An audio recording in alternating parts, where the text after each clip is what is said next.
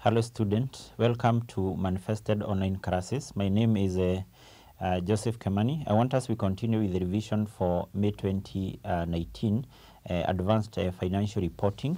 And um, in this class, I want us to look on the question which was uh, um, or the uh, question number three of uh, May 2019. And that question had two parts. So we start with the, the first part. Um, that is part A, Roman 1, and the question is with reference to International Accounting Standard uh, IAS 19, employees benefit, briefly explain the accounting treatment of a defined uh, pension. Um, defined benefit pension uh, surplus into bracket uh, pension asset in the uh, financial statement of an employer. So what we are required um, to do there is to explain how an employer should account for a plan asset. So this uh, first of all is uh, question three. Question number three. Question three of uh, May 2019. May 2019. So in part A, Roman 1 of that particular question, it requires to explain to explain the accounting treatment the accounting treatment treatment of uh, the plan uh, asset of the plan asset by an employer by an employer an employer. Now uh, whenever now the employer is uh, preparing the financial statement at the end of the year the, the plan asset, or what in other terms we refer to as the, the, the surplus, or basically the defined benefit uh, pension surplus, this always should be accounted for as part of the non-current uh, asset, of which, uh, first of all, what we need to note is that uh, whenever now we are to compute uh, what if as the plan asset, we take now the fair value, the fair value of uh, the plan asset, plan asset at the end of the year, and then to this we are supposed to less the present value of the defined uh, defined benefit obligation benefit uh, obligation. Now the difference between these two values between these two values is uh, what we as uh, the plan asset uh, the plan asset or what in other terms we refer to as the defined benefit uh, pension surplus pension surplus. Now this particular a plan asset at the end of the year, it should be accounted for by the employer as part of the non-current uh, asset, meaning that the employer, when preparing the statement of financial position, he should uh, treat this uh, or he should include this as part of the non-current uh, asset. So that what was required in Roman one of that question. In Roman 2, um, um, still it is a question from employees benefit and it reads, W Limited, a public uh, limited company operator defined a pension uh, plan for its employees. The present value of the future benefit obligation as at 1st January 2018 uh, was shillings uh, 30 80 million and the fair value of the plan asset as at the same date was uh, 2860 million. Then you're given some information there we are told uh, further information relating to the pension uh, plan uh, for the year which ended 31st December 2018 was as follows. One we have the current service cost uh, which was 209 million. Two we have uh, the benefits uh, which were paid to former employees which amounted to 242 million. The contribution paid into the plan was 259 and then we have the present value of the pension uh, obligation as at the end of 2018 and then we have the fair value of the plan asset still at the end of 2018 and then we have some additional information one we are told that the interest cost uh, which is gross yield on blue chip uh, corporate bonds uh, is at uh, the rate of uh, 5%. And number two, we are told on 1st January 2018, the pension plan was amended uh, to provide enhanced benefit uh, with effect from uh, that date. The present value of the enhanced uh, uh, benefit as at 1st January 2018 was calculated by actuaries as uh, shillings 110 million. Now, what you are required in that question is uh, we are required uh, to uh, prepare the notes, that is the required notes, uh, to the uh, statement of comprehensive income and uh, the financial, uh, that is statement of financial position to reflect the financial effect of the defined uh, pension uh, plan, um, uh, plan in the year which ended 31st uh, December 2018. Now, what you are required in that question uh, as a summary there is to compute now the figure to be taken to the a statement of comprehensive income and two is to compute now the figure which will be taken to the statement of financial position. Now, as far as the the employees benefit are concerned, there are three items uh, which we take to the statement of, uh, uh, or basically to the financial uh, statement. And those particular items uh, which are supposed to be uh, taken to um, the financial statement of the employer as far as the employees benefits are concerned, um, the first item is something known as the net pension cost, uh, net pension cost, uh, pension cost. And two is something known as the net uh, actuarial net uh, actuarial uh, gain uh, stroke loss stroke loss of which now this is taken to the statement of comprehensive income as part of the other comprehensive income whereas this is taken to the statement of comprehensive uh, income as part of the expenses a part of the expenses. And three um, the other item is known as the net uh, pension, net pension uh, asset, uh, asset, stroke net pension liability, of which now uh, this is supposed to be taken uh, to the statement of financial uh, position. So what we need to do in that particular case is to compute those three items. To compute the net pension cost, uh, which will be an expense in the income statement.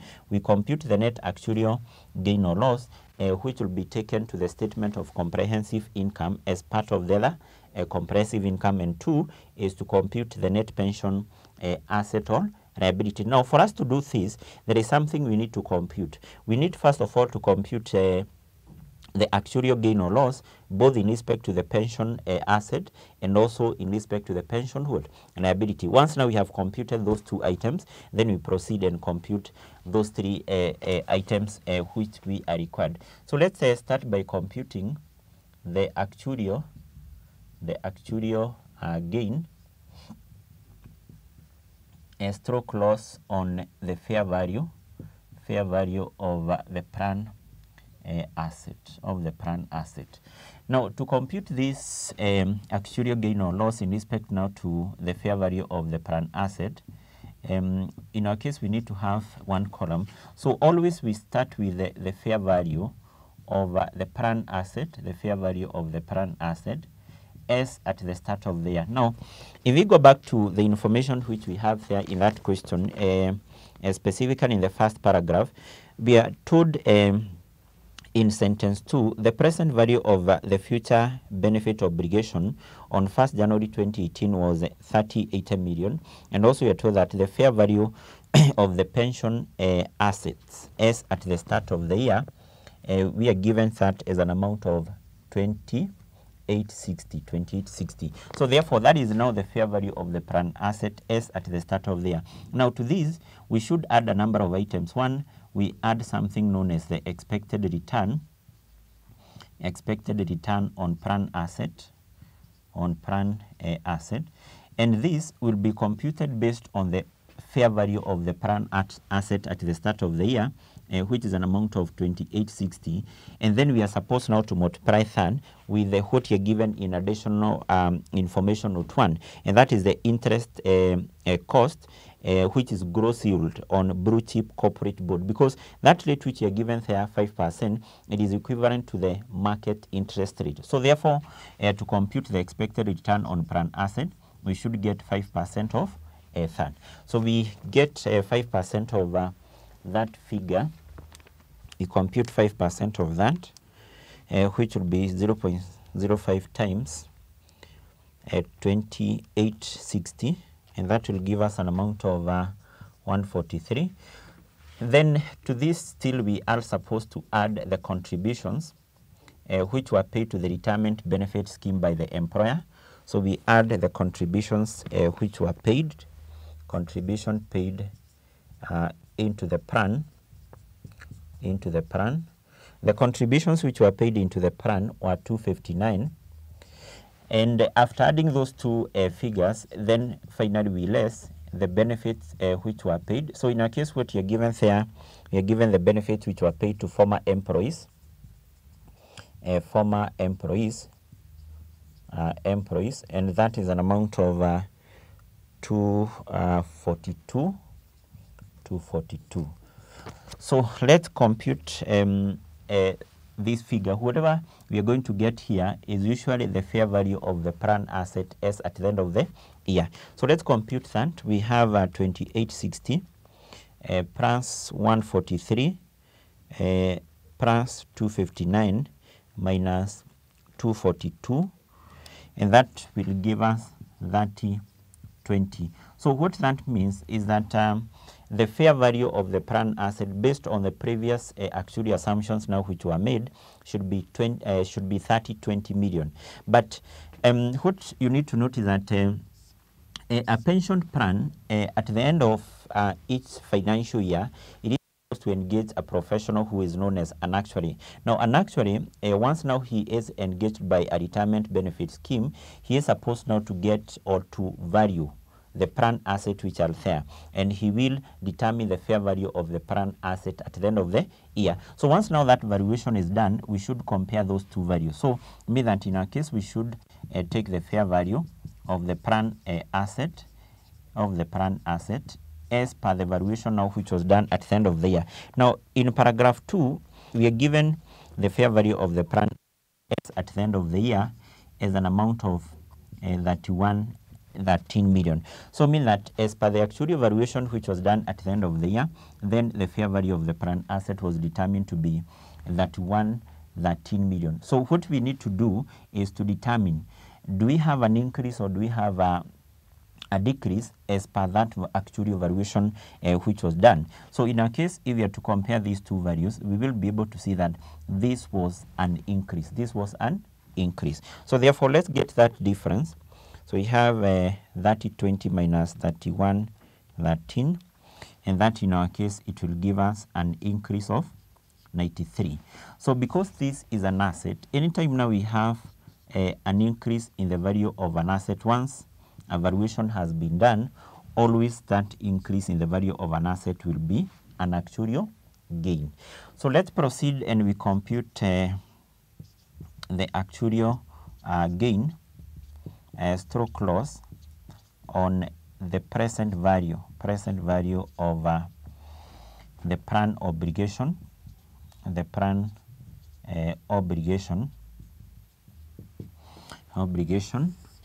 So we still need to have uh, one column like that. So to compute this, we need to start with the present value of uh, the plan obligation, of the plan obligation as at the start of the year. That is balance brought down. And the, pre, uh, the, the plan obligation, this is uh, what in our question is known as the defined obligation. That is one and the same thing. Now, in the first paragraph, you're told the present value of uh, the future benefit obligation was an amount of 3080, was an amount of 3080. Then to this, we should add a number of items. But before we do that, if we go to additional information number two, we are told on 1st January 2018, that is now at the start of the year, the pension plan was amended to provide enhanced benefit with effect from that date. That is now from 1st January 2018. And the present value of the enhanced benefits uh, on 1st January 2018 uh, was calculated by actuaries as shillings uh, 110. Now, that amount which you are given here as 110 is uh, what we refer to as the past service cost, the past service cost. And the effect of a past service cost is to increase the benefits now which will be payable to the employees in the in the future. And once now it increases the benefits uh, which will be payable to the employees in future, it will also now increase the obligation of a retirement benefit scheme to pay more benefits. And therefore, once we are told that this was to be increased, so that means that we are going to increase this with an amount of 110 and which will be a past service cost. Once we have that, then we proceed and we compute something known as the interest cost. Uh, interest cost, of which now the interest cost will be computed uh, on the rate which you are given in note 1, which you have said is equivalent to the market interest rate. And then we should now compute this, or basically we compute that based on the present value of the plan obligation at the start of the year. But what you are told, according to the actuarial valuation which was done uh, at the start of the year, this amount is to be increased with 110. So therefore, we are going to compute this interest cost based on the total value there, uh, which will be 3190, 3190. So we get the 5% of that figure there. That is the total figure of 3080 plus 110. So we get 5% uh, of that. That is that that will give us 159.5. Uh, we can just take that to the nearest whole number, which will be 160. And then to this we add the current service cost, a current service uh, cost. Now the current service cost you're given that is an amount of 209 is an amount of 209 and still now to this we less the benefits which were paid. We less benefits uh, which were paid. The benefits which were paid would be the same as an amount as we have used uh, there above the amount of 242 yes so we compute what should be the present value of the plan obligation at the end of the year which will be 3080 plus 110 plus uh, 160 160 uh, plus 209 minus 242 and that will give us that 317 so and that means that uh, the present value of the plan obligation as at the end of the year based on some of the previous actuarial assumptions uh, which have been made should be 3370 now what we need to do is then to compare that. We compare that with the present value of the obligation. That is a plan obligation the plan uh, obligation is at the end of the year is at the end of the year. And we have that in uh, parag uh, the paragraph 2 which are given as an amount of uh, 31 uh, sorry that should be 3360 3360 so we compare that. So what we have here is the present value of uh, the plan obligation as per the actuarial valuation which was done at the end of the year. So what we need to do is to determine whether we have an increase or a decrease. And basically, if now we are to compare those two values, we will be able to see that we have an increase from 3317 to 3360. So we get the increase, uh, which in our case will be 43, uh, which will be 43. So now that increase, taking into account this is a liability. If now the value of variability increases, then that should be a loss. That should be a loss. So therefore, in our case, that would be an actuarial loss. That would be an actuarial loss, uh, which now is an uh, increase. Now, having computed that actuarial gain um, and also loss in respect now to the plan obligation and basically the fair value of the plan asset, I think now we can compute those three items, the net pension cost, the net actuarial gain or loss, and also the net pension uh, uh, asset or liability. So let's start by computing the net pension uh, cost net pension cost uh, costs. And basically, I've said that this net pension cost is the amount now which will be taken to the income statement of the employer as an expense. As an expense. Now, this is computed uh, by um, taking a number of items we have a number of items here which should be taken to the income statement as either incomes or expenses. First of all, starting with what we have here, uh, these three items, that is the past service cost, the interest cost, and uh, the current service cost, these should be taken to the income statement, and basically those are items of expenses. Uh, here, uh, what is taken to the income statement is uh, what is known as the expected return on plan asset. Basically, that is a form of an income. So therefore, we should take these three uh, items of cost and then we offset that income. The net amount we are going to get is known as the net pension uh, cost. So let's start by having our three uh, cost here or our three expenses. First of all, we have the past service cost. Past service cost is an amount of uh, 110. We also have the interest cost, uh, interest cost, which is an amount of 160. We have the current service cost, current service uh, cost, uh, which is an amount of uh, 209. Still, that is uh, a cost or an expense. And still, this should be taken to the income statement, but this is an income. So, take into account is an income. It will be offset against those expenses. So, we have expected return uh, on plan asset, uh, on plan asset, and that is an amount of 143. So taking into account that is an income, we offset it from those costs, and whatever we get now here is uh, what we refer to as the net pension uh, cost, and that is now the amount now which an employer should take now to the income uh, statement. So let's uh, compute that uh, figure there. Compute that uh, figure, and that will be given by 110 uh, plus 160 plus 209 minus 143. So mean that our net pension cost or the amount now which will be taken to the income statement as an expense will be an amount of 336.